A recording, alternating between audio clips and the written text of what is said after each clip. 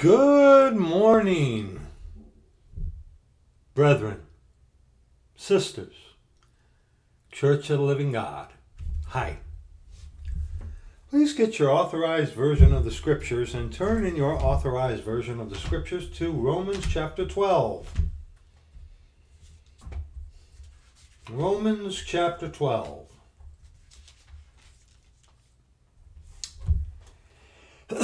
We will be reading verses 4 on to verse 13 in Romans chapter 12. Please go there.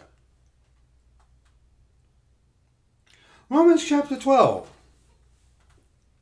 verses 4 on to verse 13. For as we have many members in one body, and all members have not the same office, so we, being many, are one body in Christ and every one members one of another. Having then gifts differing according to the grace that is given to us, whether prophecy, let us prophesy according to the proportion of faith. Or ministry, let us wait on our ministering. Or he that teacheth on teaching. Or he that exhorteth on exhortation. He that giveth, let him do it with simplicity. God loveth a cheerful giver, remember. He that ruleth with diligence, he that sheweth mercy with cheerfulness, not begrudgingly, not begrudgingly. Let love be without dissimulation. Abhor that which is evil, Abhor abhors extreme hatred. Cleave to that which is good. What is good? There is only one good, and that is God, our Lord Jesus Christ, God our Father. Be kindly affectioned one to another with brotherly love. In honor, preferring one another. Not slothful in business, fervent in spirit serving the Lord, rejoicing in hope, patient in tribulation, continuing instant in prayer, distributing to the necessity of saints, given to hospitality. Given to hospitality. First Timothy, very quickly. First Timothy, chapter three, one verse. First Timothy, chapter three, verse two.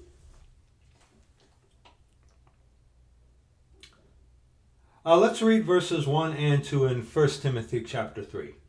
This is a true saying. If a man desire the office of a bishop, he desireth a good work. A bishop then must be blameless. The husband of one wife, vigilant, sober, of good behavior, given to hospitality, apt to teach. Given to hospitality.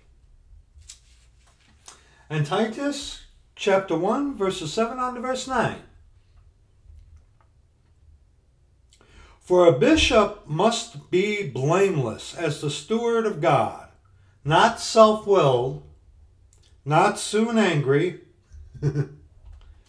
not given to wine, no striker, not given to filthy lucre, but a lover of hospitality, a lover of good men, sober, just, holy, temperate, holding fast the faithful word as he hath been taught, that he may be able by sound doctrine both to exhort and to convince the gainsayers. There's that word hospitality again.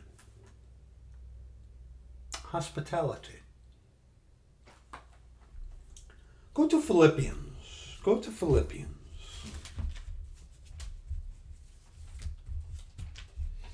Philippians chapter 1.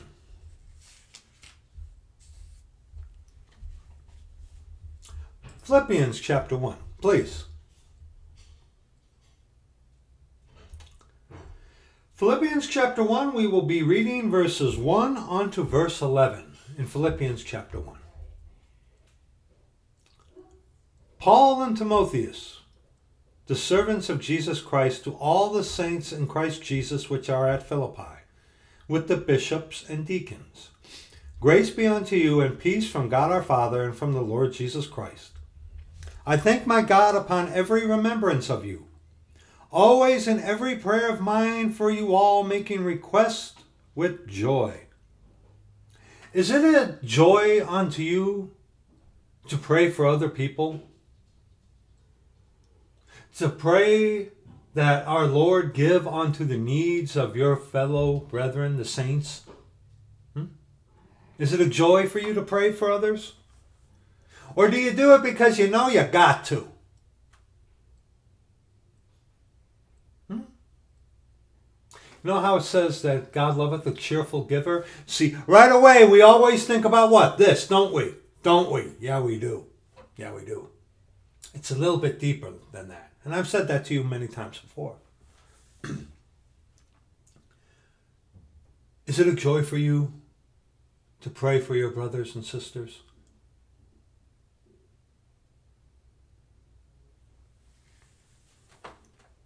For your fellowship in the gospel from the first day until now, being confident, confident of this very thing, that he which hath begun a good work in you will perform it until the day of Jesus Christ. Even as it is meet for me to think this of you all, because I have you in my heart, inasmuch as both in my bonds and in defense and confirmation of the gospel Ye all are partakers of my grace. For God is my record, how greatly I long after you all in the bowels of Jesus Christ.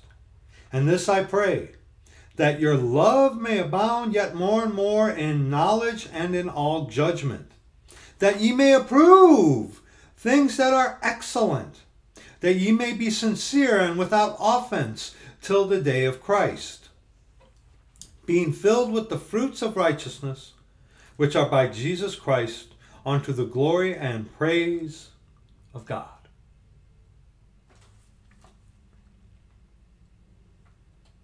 Unto the glory and praise of God.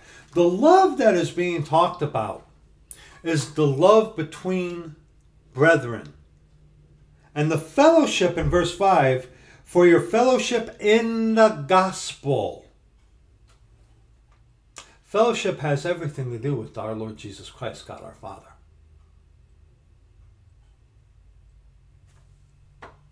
You, the Church of the Living God, brethren, sisters. You ever opened your door onto a fellow brother, a fellow sister, invited them in, invited them over? Had fellowship through the scriptures? Broke bread. True fellowship. You can have good fellowship here online. Yes, you can. With uh, actual brethren and sisters, yes. But face to face, flesh, it's always something special. Always something special. Are you given the hospitality? Hmm? Go to First Peter. Go to 1 Peter chapter 4. 1 Peter chapter 4, verses 8 on to verse 11. 1 Peter chapter 4, verses 8 on to verse 11. And above all things, have fervent charity, self sacrifice, among yourselves, for charity shall cover a, the multitude of sins. Use hospitality one to another without grudging. As every man hath received a gift, even so minister the same one to another, as good stewards of the manifold grace of God. If any man speak, let him speak as the oracles of God.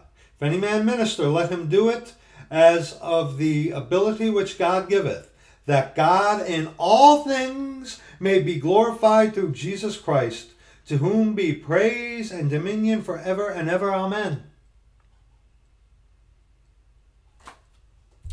Go back to Philippians now, chapter 2. Philippians chapter 2, verses 1 on to verse 4.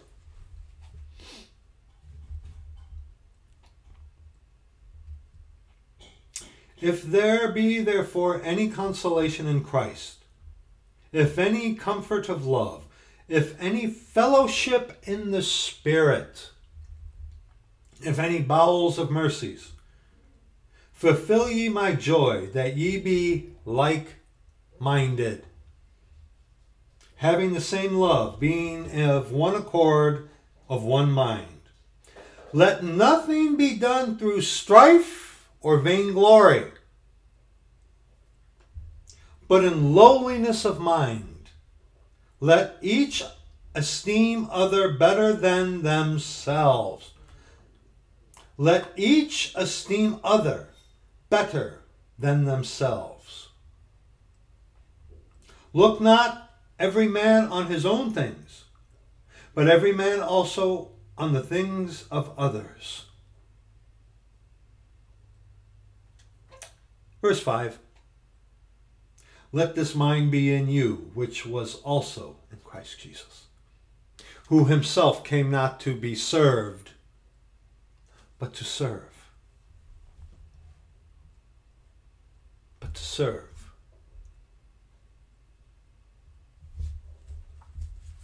First John. First John chapter 1.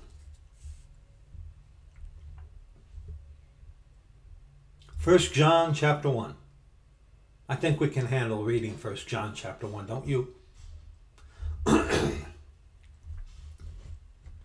that which was from the beginning, which we have heard, which we have seen with our eyes, which we have looked upon, and our hands have handled, the capital W word of life.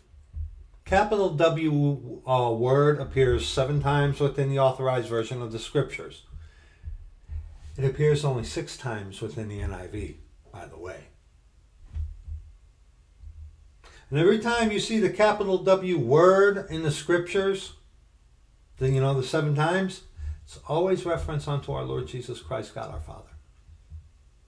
Isn't that interesting, huh? For the life was manifested, and we have seen it, and bear witness, and shew unto you that eternal life which was with the Father, and was manifest unto us. That which we have seen and heard declare we unto you, that ye also may have fellowship with us. And truly our fellowship is with the Father and with his Son Jesus Christ, being of one mind. And these things write we unto you, that your joy may be full. This then is the message which we have heard of him, and declare unto you, that God is light, and in him is no darkness at all. If we say that we have fellowship with him and walk in darkness, we lie and do not the truth. But if we walk in the light, as he is in the light. We have fellowship one with another. And the blood of Jesus Christ his Son cleanseth us from all sin. If we say that we have no sin, we deceive ourselves, and the truth is not in us.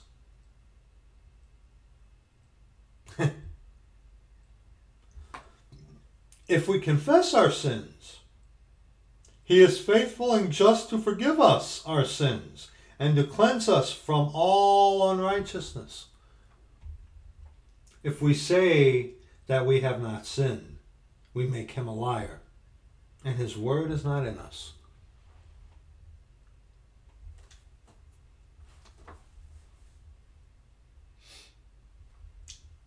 But if we walk in the light, verse 7, as he is in the light, we have fellowship one with another. This is just going to be a very quick video. Um,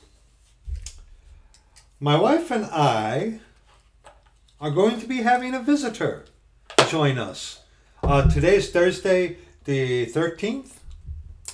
Um, at some point today, later today, or maybe early uh, in the morning, our dear brother, our friend, is going to be ascending up onto us to uh, stay with us for a couple days. And we, uh, all three of us, my wife and I, and uh, our dear brother, I'm talking about our brother, our friend, Alexander Hartley, is going to be coming up here to uh, spend some time with us again. And um, going to be spending the weekend with us. And uh, the last time our brother came and visited us, it was unannounced. And um, it was, oh, it was beautiful. It was so beautiful.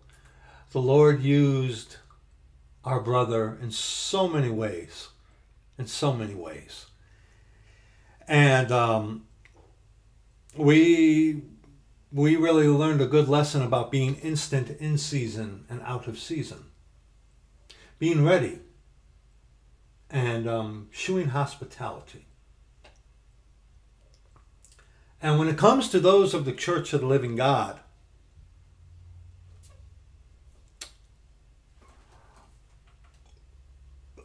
especially what's going on right now, brethren, How willing are you to open your doors unto a brother, unto a sister? On the spur of the moment, on a whim, unannounced.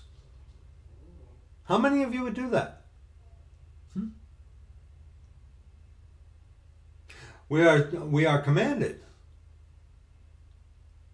to use hospitality, to show love onto one another of the Church of the Living God. Open your doors unto your brethren, unto your sisters. You know? How many of you will do that? How many of you are willing to do that? Hmm? It's a, it's a beautiful and glorious thing when you can have one of your own Brethren, your own sisters, come to where you are and you can break bread with them and be in the scriptures together and just be there one with another. It's a beautiful thing. And you know, like I said, these days, nowadays, today, What happens if a brother or sister loses all, everything and they come to you and they show up at your doorstep? What would you do? What would you do if a brother or a sister? I, am talking about if you, you know, you know what I mean. What if um, they show up unannounced? Would you turn them away? Would you be begrudging that they were there, but knowing that, well, I guess I have to?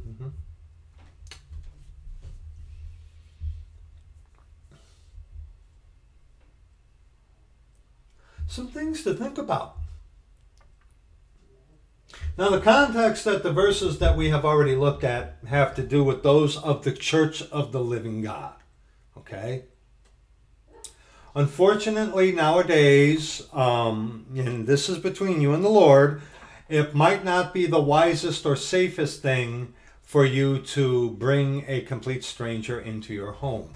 I know that it says in Hebrews about uh, be not negligent to entertain strangers, because some have entertained angels unawares. I know that. I know that. I know that. And I, you know, if a stranger does come by, you know, that's between you and the Lord. You pray about it, uh, you know, and you don't close your heart off to such, but uh, you need to, especially nowadays, you know. But nonetheless, We are to use hospitality one toward another, to be gracious with our time, to be giving with our time.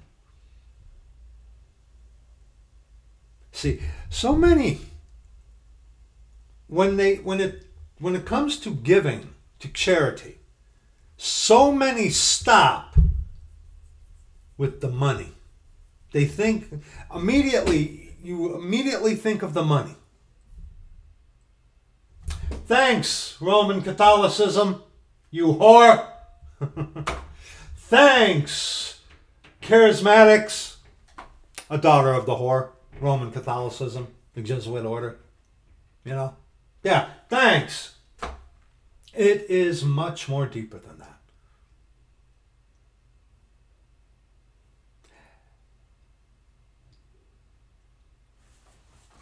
I personally believe that it puts a big smile upon our Lord's face when brethren can sit one across another over the scriptures, over a meal. I think it really does put a, a big smile upon his face, especially in these days when he allows opportunities such as as such for us to do so. And brethren, You know? I know we're spread out. I know. I know that. I know that in your locality, I don't care where you live. In your locality, how, where are those authorized version of the scripture believers by you who are genuine of the Church of the Living God, who believe the scriptures, that it's not just a good translation, but that this is the perfect Word of God, that are of the Church of the Living God. How many abide by you in very close proximity to yourself? You might say you got some. Praise the Lord. How often do you get together? You know, nowadays, brethren, with what is literally right upon the horizon, if you have a chance to, take it. Do it.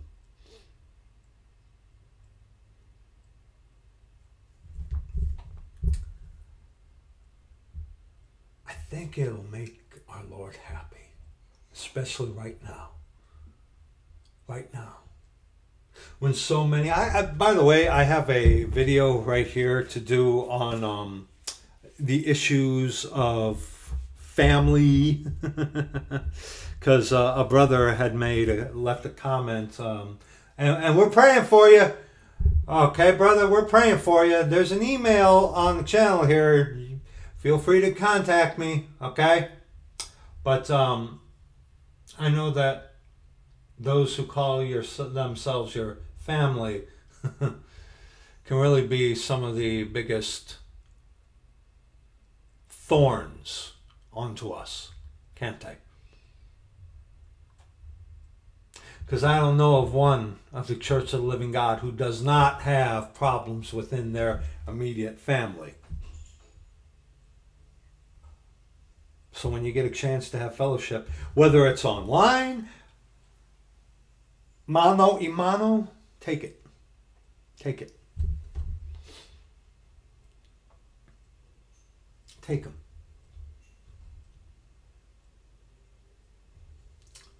Like I said, I'm, I'm pretty sure that it makes our Lord happy.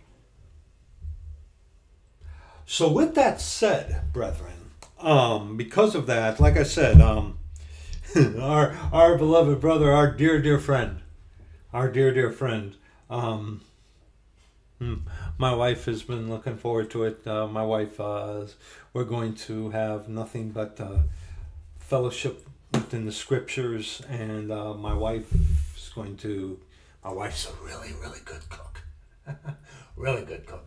Um, gonna put some meat on them bones of his. You know what I'm saying? but um, yeah, we're uh, we're we're really looking forward to this time of fellowship with our brother. Um, but with that said, probably not going to be uploading anything for the remainder of this week until next week. Um, probably next Monday ish or Tuesday ish. And um, got videos, you know, prepared. Just um, this is uh, this is something that cannot be cannot be passed by. This is when you get a chance to actually have true fellowship with one of the Church of the Living God, mano y mano, where they come up by you and you get to lodge them, feed them, have uh, go through the scriptures with them, laugh, cry. Especially right now, brethren Take them. Take it. Just take it. Enjoy it. Because the time is coming very rapidly where we might not be able to much longer. And even so, come Lord Jesus.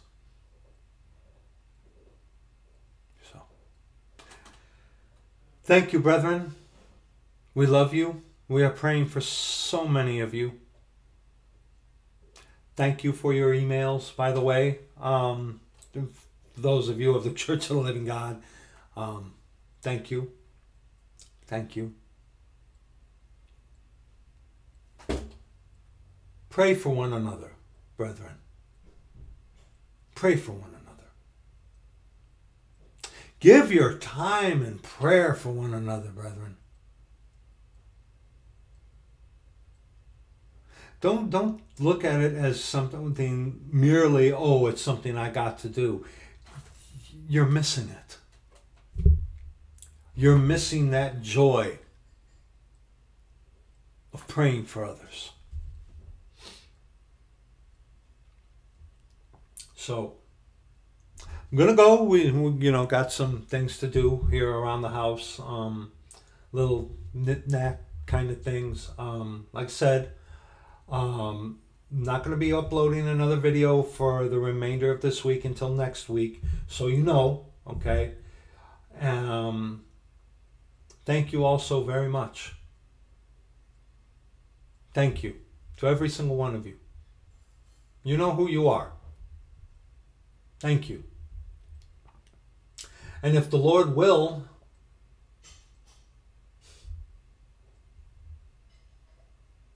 may He continue. May He continue. But anyway, that's going to be it for this short video. Um, we love you. And we will see you in the next video. Pray for one another, brethren. Bye bye.